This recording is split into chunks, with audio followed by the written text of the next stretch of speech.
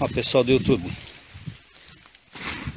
Depois que eu enterrei, fiz as covas que eu enterrei e molhei, eu plantei entre uma cova e outra crotalária e algumas sementes de feijão guandu.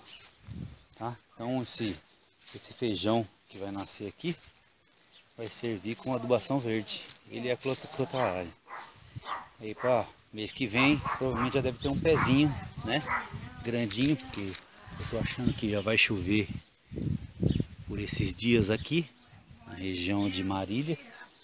Tá vendo? A cada, a cada cova que eu abri, eu plantei alguma semente de crotalária, feijão guandu.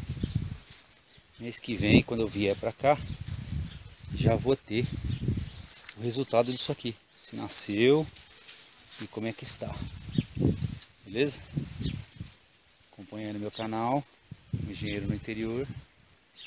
E até a próxima. Até mais.